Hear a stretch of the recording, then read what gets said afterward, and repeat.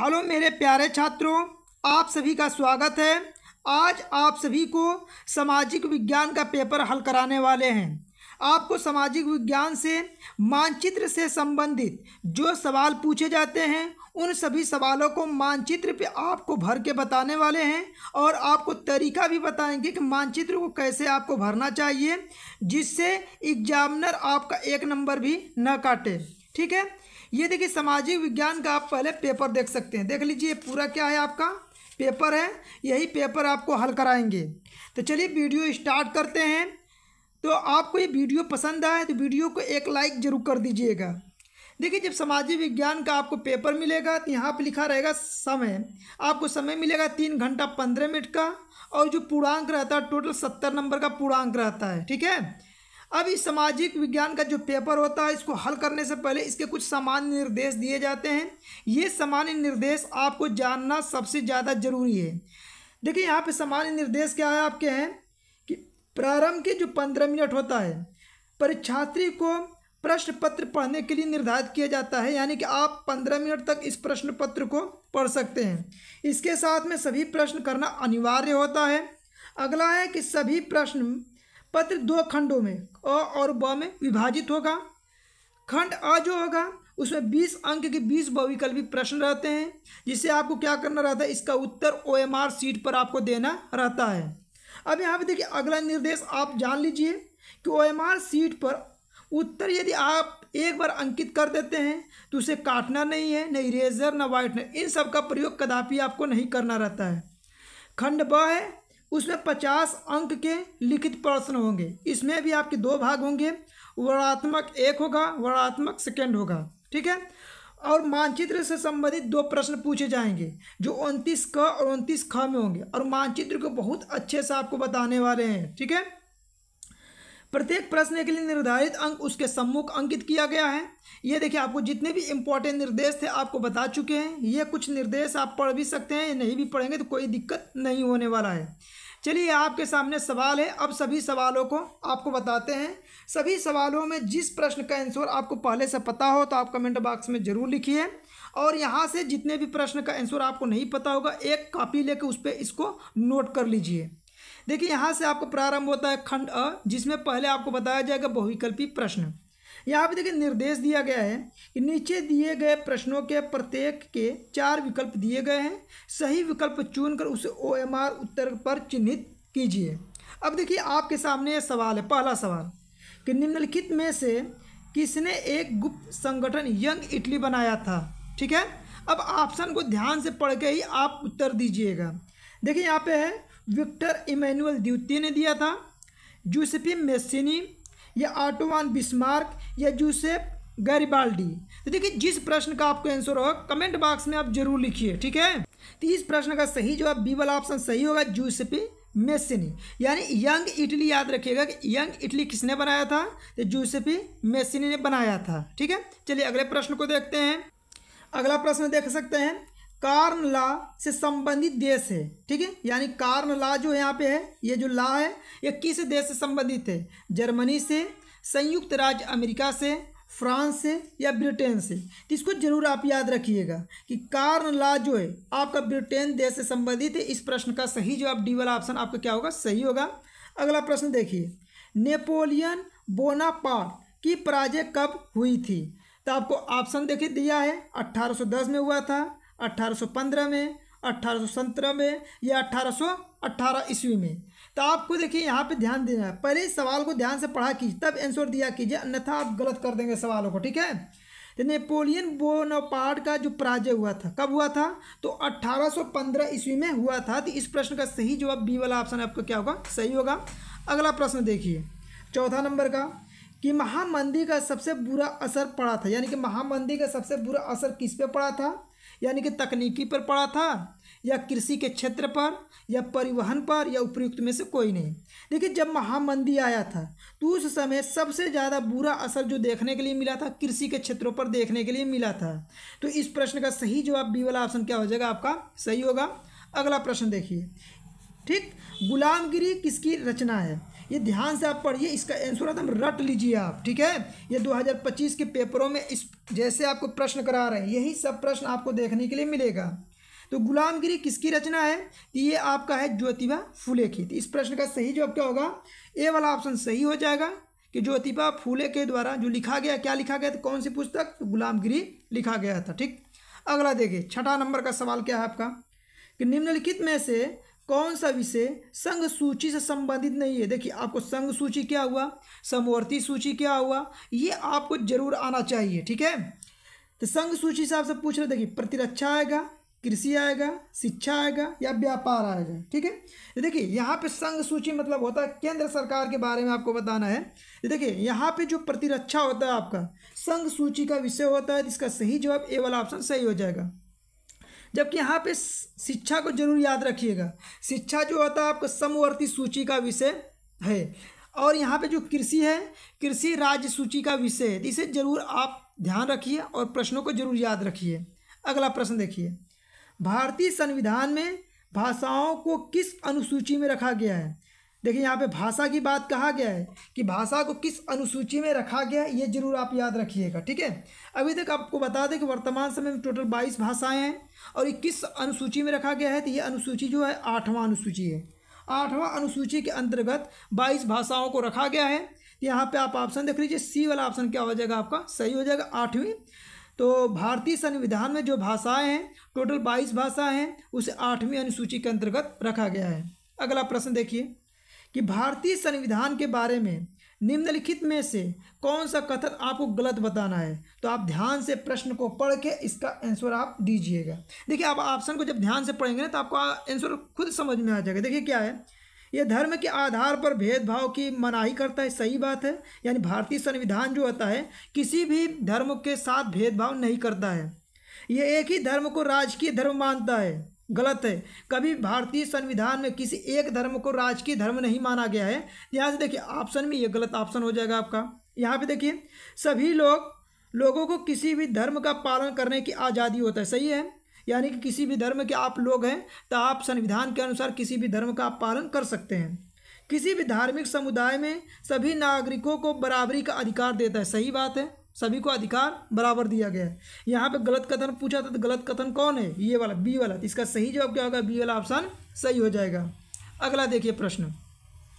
जनता का, जनता के लिए शासन किस शासक व्यवस्था की विशेषता है? यहाँ पे देखिए, जनता का, जनता के लिए शासन। ठीक है, ये बताना है कि किस तो देखिए, आपका जो भारत होता है, भारत में आपका लोकतंत्र शासन है, यानी जनता का, जनता के लिए शासन होता है। आप सभी को पता है कि आप वोट देते हैं, वोट देते हैं तो आपका मुख्यमंत्री हुआ, ठीक है, विधायक हो गए, चुन के जाते हैं।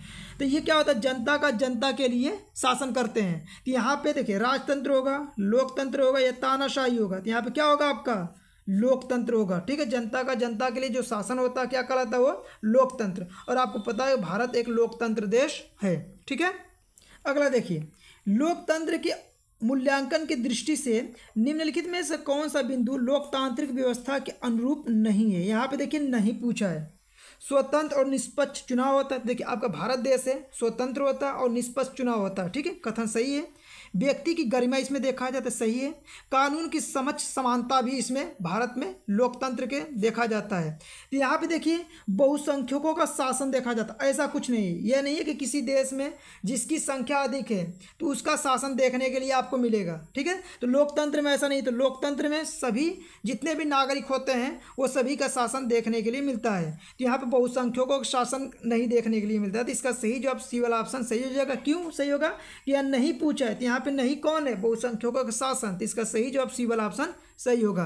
अगला प्रश्न आप देखिए। उत्पत्ति के आधार पर संसाधनों का निम्नलिखित में से कौन सा वर्गीकरण सही पूछा है कि कौन सा वर्गीकरण यहाँ पे सही है? यहाँ पे देखिए आपका ऑप्शन है, केवल जय होता है, केवल अजय होता है, जय और अजय दोनों होता है, यह उपयुक्त में से कोई नहीं। तो देखिए, उत्पत्ति के आधार पर जो संसाधन होते हैं, आपका जैव संसाधन भी आप पढ़े होंगे अजैव संसाधन दोनों, ये दोनों वर्गीकरण किया गया है। तो इसका सही जवाब क्या होगा? सी वाला ऑप्शन सही हो जाएगा कि संसाधन को कितने वर्गों में बांटा गया है? जैव संसाधन और अजैव संसाधन। तो इसका सही आंसर सी वाला ऑप्शन सही होगा। अगला देखिए, बारह नंबर का। प्रथम, अंतर्राष्ट्रीय पृथ्वी सम्मेलन किस नगर में आयोजित किया गया था? ठीक है? न्यूयॉर्क में, रियो डी जेनेरा में पेरिस में या नई दिल्ली में, ठीक है? तो देखिए, प्रथम अंतर्राष्ट्रीय जो पृथ्वी सम्मेलन हुआ था, ठीक है? तो पृथ्वी सम्मेलन जो हुआ था रियो डी जेनेरो में हुआ था तो इसका सही जवाब बी वाला ऑप्शन सही हो जाएगा, ठीक है? तो जितने प्रश्न का आपका आंसर पहले से आ रहा हो, आप ज़रूर कमेंट बॉक्स में ज़रूर लिखिए, ठीक है? और देखिए, आपको यदि मेहनत मेरा पसंद आ रहा है तो एक वीडियो को लाइक ज़रूर कर दीजिए और अपने दोस्तों के पास वीडियो को अधिक से अधिक शेयर ज़रूर कीजिए। तेरह नंबर का देखिए खरीफ की फ़सलों के बोए जाने का समय है, ठीक है? अब देखिए खरीफ का फ़सल क्या होता है? पहले तो यही पता होना चाहिए कि खरीफ के फ़सल के अंतर्गत क्या आता है। तो खरीफ के फ़सल के अंतर्गत आप सभी को पता है कि धान आता है। क्या आता है? धान या चावल, आप कह सकते हैं। तो आप बताइए कि धान और चावल कब बोया जाता है? और इसको कब या बोने की बात हो रहा है तो कब बोया जाता है? जून, जुलाई में बोया जाता है, अक्टूबर, दिसंबर में बोया जाता है मई या मार्च या मई में बोया जाता है, या अगस्त या अक्टूबर में बोया जाता है, ठीक है? तो देखिए, खरीफ की फ़सल यानी धान उन जो हो गया, ठीक है? ये किसमें बोया जाता है? आप सभी को पता है कि जून, जुलाई से इसका प्रारंभ हो जाता है। तो इसका सही जवाब क्या हो जाएगा? ए वाला ऑप्शन सही हो जाएगा कि खरीफ की फ़सल जो होता है, जून या जुलाई के महीने में बोया जाता है, ठीक है? तो आप इस तरह आप याद रख सकते हैं। अगला देखिए, निम्नलिखित में से कौन सा ऊर्जा का खनिज है। अब यहाँ पे बताना है कि ऊर्जा का खनिज यहाँ पे कौन सा है? यानी जिससे आपको ऊर्जा प्राप्त होता है। देखिए लौ एस्क से ऊर्जा तो प्राप्त होता नहीं है तो ये ऑप्शन तो हो नहीं सकता है। अभ्रक एक प्रकार का तत्व है तो इससे भी आपको ऊर्जा प्राप्त नहीं होगा। चूना पत्थर जो होता है, ये भी एक प्रकार का यौगिक है, या पदार्थ मान सकते हैं, इससे भी ऊर्जा नहीं है। लेकिन प्राकृतिक गैस क्या है? एक खनिज के रूप में होता है, और इससे आप ऊर्जा प्राप्त कर सकते हैं। तो इसका सही जवाब क्या हो जाएगा? सी वाला ऑप्शन आपका करेक्ट हो जाएगा। ठीक? अगला देखिए कि कृषि के आधार पर उद्योग का उदाहरण है, ठीक है? अब देखिए यहाँ पे ध्यान से पढ़िएगा यहाँ पे, क्या लिखा है? कृषि। ये बताइए कि लोहा इस्पात उद्योग, ये कृषि के अंतर्गत ऐसा तो है नहीं। सूती वस्त्र उद्योग, ये भी नहीं आएगा। सीमेंट उद्योग, ये भी नहीं आएगा कृषि के अंतर्गत। क्या आता है? रासायनिक उद्योग आता है। क्या आ जाएगा इसके अंतर्गत? आपका ध्यान दीजिएगा। तो देखिए यहाँ पे रासायनिक उद्योग तो ये भी नहीं आएगा। तो देखिए यहाँ पे कृषि आधारित उद्योग, जैसे सूती वस्त्र उद्योग क्यों कहा गया है? इसका सही जवाब बी वाला ऑप्शन सही हो जाएगा। ठीक है, यहाँ पे क्या होगा? बी वाला ऑप्शन सही होगा। क्यों होगा? कि देखिए, आपका, आप सुने होंगे कि आपका जो वस्त्र बनाया जाता है, रेशम के कीट से बनाया जाता है और इसकी क्या किया जाता है? रेशम के कीट के लिए खेती की जाती है। ठीक है? रेशम के कीट की क्या की जाती, खेती की जाती है। तो यहाँ पे वस्त्र जो बनाएँगे आप, रेशम के कीट से जो बनेगा, ये एक प्रकार के कृषि आधारित उद्योग हो जाएगा। तो इस प्रश्न का सही जवाब बी वाला ऑप्शन आपका सही होगा। देखिए अगला, भारतीय रेल में रेल प्रखंडों की कुल संख्या आपको बताना है कि रेल जो प्रखंड होते हैं, उसकी टोटल कितने संख्या, यानी कितना जोन होता है। तो देखिए, दिया है सोलह होगा अट्ठारह होगा, दस होगा या बारह होगा। तो रेल प्रखंडों की कुल संख्या जो होता है टोटल अट्ठारह होता है, इसे आप ज़रूर याद रखिएगा, ठीक है? अगला देखिए, सत्रह नंबर का। यहाँ पे ध्यान दीजिए क्या है कि सूचना एवं संचार प्रौद्योगिकी आर्थिक क्षेत्र का आपको बताना है कि सूचना और संचार को किस के अंतर्गत रखा है? प्राथमिक के अंतर्गत, द्वितीय के अंतर्गत, तृतीय के अंतर्गत या चतुर्थ के अंतर्गत? देखिए, प्रथम क्षेत्र, द्वितीय क्षेत्र, तृतीय क्षेत्र ज़रूर आप पढ़ लीजिएगा। सूचना और प्रौद्योगिकी जो होता है, इसे तृतीय क्षेत्र के अंतर्गत रखा गया तो इसका सही जवाब क्या होगा? सी वाला ऑप्शन सही हो जाएगा। इसके अलावा कृषि को आप ज़रूर याद रखिएगा। कृषि को किस क्षेत्र के अंतर्गत रखा गया तो प्राथमिक क्षेत्र के अंतर्गत रखा गया है, ठीक है? अगला प्रश्न यहाँ पे देखिए आप क्या है अगला? तो उपभोक्ता सुरक्षा अधिनियम किस वर्ष पारित हुआ था, ठीक है? यहाँ उपभोक्ता सुरक्षा अधिनियम किस वर्ष पारित किया गया तो इसका बताना है आपको। तो ये पारित किया गया था उन्नीस सौ छियासी ईस्वी में तो इसका सही जवाब बी वाला ऑप्शन सही हो जाएगा, ठीक है? देखिए, उन्नीस नंबर का सवाल क्या आपका?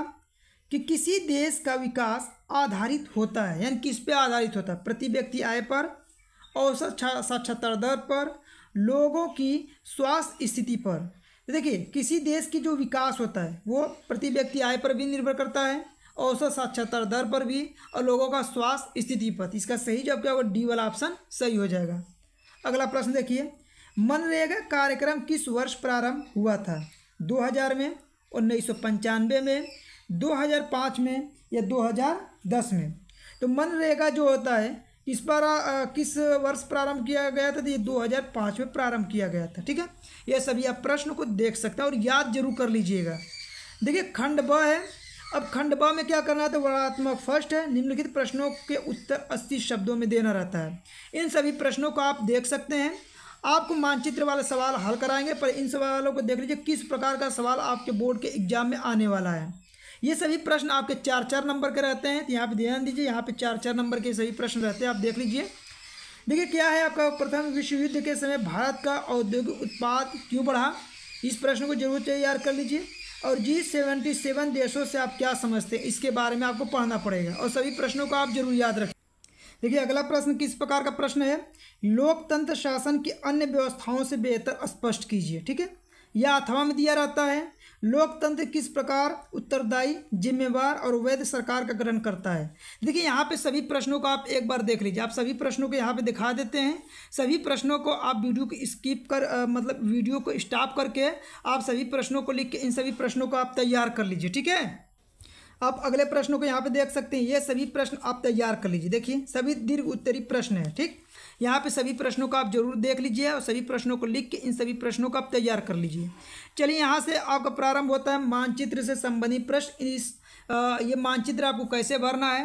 कैसे आप भरें कि आपका एग्जामिनर एक नंबर भी ना काटे ठीक है? देखिए जैसे उनतीस का क है अब ठीक? यहाँ पे मानचित्र आपको भर के भी बताएँगे और गलतियाँ जो करते हैं बोर्ड के एग्ज़ाम में वो भी आपको यहाँ पे बताने वाले हैं ठीक है?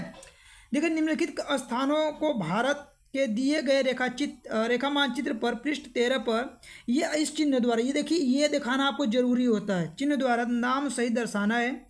सही नाम, सही स्थान के लिए एक बटक दो, एक बटक दो अंक, यानी एक प्रश्न एक नंबर का रहेगा। सीधा कहने का मतलब इसका ये है। देखिए, जैसे आपके सामने पहला नंबर का सवाल, क्या है? कि उनतीस का पहला क्या है? कि वह स्थान जहाँ भारतीय राष्ट्रीय कांग्रेस का अधिवेशन सितंबर 1920 में हुआ था। तो कहाँ पे हुआ था? तो देखिए, यहाँ पे ध्यान दीजिएगा। यहाँ पे सन ज़रूर ध्यान दीजिएगा ना उन्नीस सौ बीस में पूछा है कि वह स्थान जहाँ भारतीय राष्ट्रीय कांग्रेस का अधिवेशन कहाँ पे हुआ था? तो ये हुआ था कलकत्ता में। कहाँ पे हुआ था? कलकत्ता में। अब देखिए, आपको पता चल गया कलकत्ता में हुआ था। तो अब देखिए, मानचित्र पे आप भरेंगे कैसे? ये है आपके सामने मानचित्र। और आपको पता होना चाहिए कि कलकत्ता है कहाँ पे। तो पश्चिम बंगाल की राजधानी कलकत्ता है। और देखिए, पश्चिम बंगाल कहाँ पे पड़ेगा? तो ये है आपका पश्चिम बंगाल। ठीक है? यहाँ पे आपका क्या है? ये पश्चिम बंगाल है। और देखिए, इस चिन्ह के द्वारा दिखाना ये ध्यान दीजिएगा। जिस चिन्ह के द्वारा कहेगा, वो चिन्ह आप ज़रूर बता, बनाइएगा।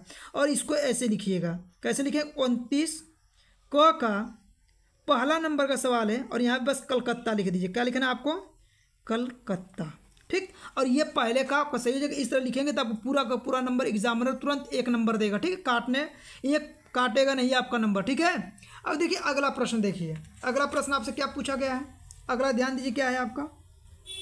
कि वह जनपद जहाँ जालियावाला बाग की घटना हुई थी। तो आप सभी को पता है कि जालियावाला बाग कहाँ पे वो घटना घटित हुआ था? अमृतसर में।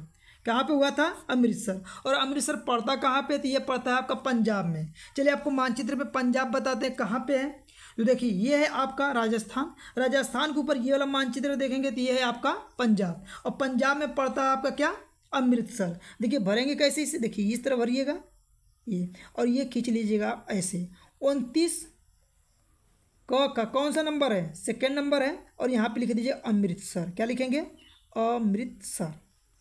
ठीक, इस तरह भर लीजिएगा, ठीक है? अब देखिए तरीका, अगला सवाल देखिए। सभी प्रश्नों को आप तैयार कर लीजिए, यही प्रश्न आपको बोर्ड के एग्ज़ाम 2025 में देखने के लिए मिलेगा, ठीक है? तो आप इन प्रश्नों को ज़रूर तैयार कर लीजिए। वह स्थान जहाँ नील की खेती करने वाले किसानों का आंदोलन हुआ था, ठीक है? तो नील की खेती करने वाले किसानों का आंदोलन कहाँ पे हुआ था थी आप सभी को याद होना चाहिए कहाँ पे हुआ था? चंपारण में। और चंपारण पड़ता कहाँ पे तो चंपारण आपका पड़ता है बिहार में, ठीक? अब चलिए आपको मानचित्र में बता दें कि बिहार कहाँ पर पड़ेगा। तो देखिए, आपका यह है उत्तर प्रदेश उत्तर प्रदेश के बगल में है ये आपका बिहार। और बिहार में पड़ता है ये क्या पड़ता है? चंपारण, ठीक है? इस मानचित्र के द्वारा दिखाना है। खींचिए ऐसे उनतीस का कौन सा नंबर है? उनतीस का क है और तीसरा नंबर है। कौन सा नंबर है? तीसरे प्रश्न का उत्तर है और यहाँ पे लिख दिया चंपारण। क्या लिखेंगे? चंपारण। ठीक है? इस प्रकार से आप ज़रूर लिखिएगा। अगला प्रश्न देखिए, आप क्या है?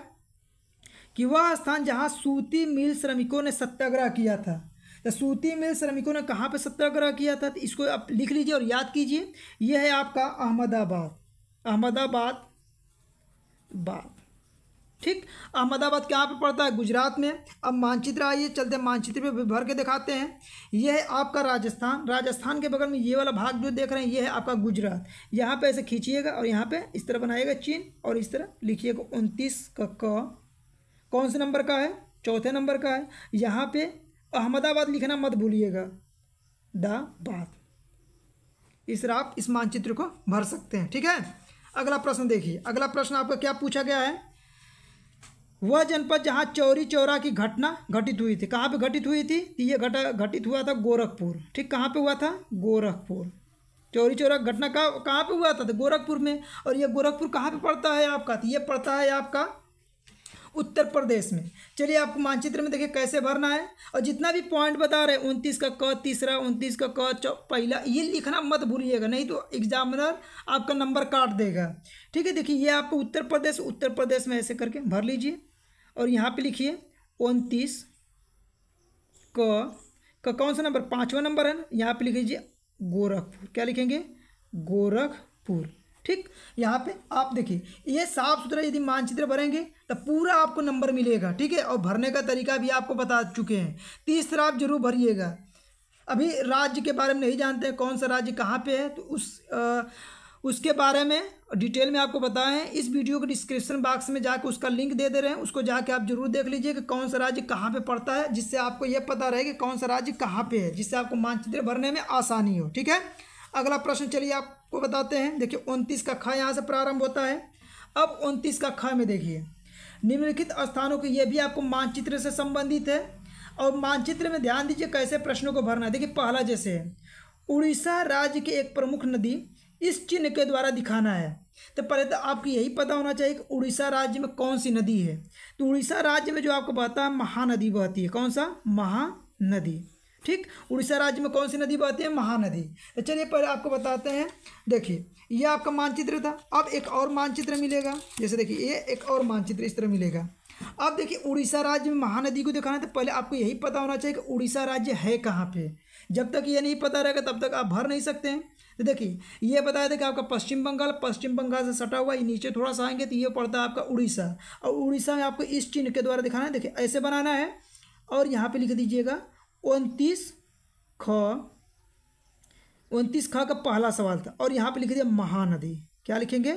महानदी। ठीक, जितने भी प्रश्न बता रहे इन सभी प्रश्नों को एक जगह लिख के इस प्रश्नों को ज़रूर तैयार कीजिए, ठीक है? अगला प्रश्न आप देखिए, अगला प्रश्न आपका क्या है? कि मध्य प्रदेश का राजधानी आपको इस चिन्ह के द्वारा दिखाना है। तो मध्य प्रदेश की राजधानी आपको पता होना चाहिए। कहाँ पे मतलब क्या होता है मध्य प्रदेश की राजधानी? तो वो भोपाल है। क्या है आपका? भोपाल। तो आपको मध्य प्रदेश, आपको पता होना चाहिए मानचित्र में मध्य प्रदेश कहाँ पे पड़ता है, उसमें दिखाना है भोपाल। तो देखिए, ये आपका है मानचित्र। मानचित्र में देखेंगे आप तो ये पड़ता है आपका क्या? भो मध्य प्रदेश। और मध्य प्रदेश में ये ये भरेंगे आप ऐसे करके। ठीक? ये हो गया आपका, और यहाँ पे लिख दीजिए भोपाल। क्या लिखेंगे? भोपाल। और प्रश्न की संख्या लिखना मत भूलिएगा। कौन सा है? उनतीस। ख का, कौन सा नंबर का ये है? दूसरे नंबर का है। ये दूसरा नंबर इस तरह दिखा दीजिएगा। ठीक है? तो ये हो गया उनतीस, ख का दूसरा नंबर, और यहाँ पे भोपाल लिखना मत भूलिएगा। अगला नंबर देखिए। अगला क्या है आपका? कि सूती वस्त्र उद्योग का एक केंद्र यस यस चिन्ह के द्वारा दिखाना है, ठीक है? तो सूती वस्त्र उद्योग के बारे में बताना है कि कहाँ पे है।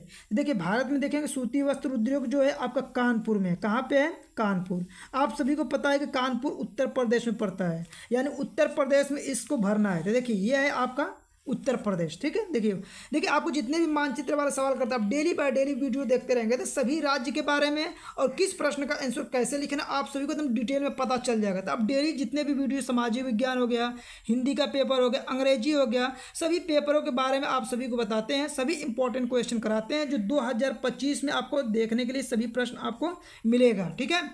अब देखिए, उत्तर प्रदेश में आपको दिखाना है सूती वस्त्र उद्योग। तो देखिए, ये है आपका उत्तर प्रदेश। ये उत्तर प्रदेश में आपको क्या, यस यस चिन्ह के द्वारा दिखाना है? ये यस यस चिन्ह बना लीजिए। और ये हो जाएगा आपका कौन सा? उनतीस, ख तो तीसरा नंबर है। और यहाँ पे लिख दीजिएगा आप क्या? कानपुर। क्या लिखेंगे? कानपुर। यानी सूती वस्त्र उद्योग कहाँ पे कानपुर। आप इस तरह दिखा दीजिएगा, ठीक है? अगला प्रश्न देखिए। कि एक प्रमुख लौ अयस्क उत्पादक क्षेत्र को चिन्ह द्वारा दिखाना है। तो लौ अयस्क कहाँ पे दिखाएँगे? तो पता है आपको लौ अयस्क जो पड़ता है आपका झारखंड में है। कहाँ पे? झारखंड में। ठीक? तो लौ अयस्क उत्पादों किस चिन्ह के द्वारा दिखाना है?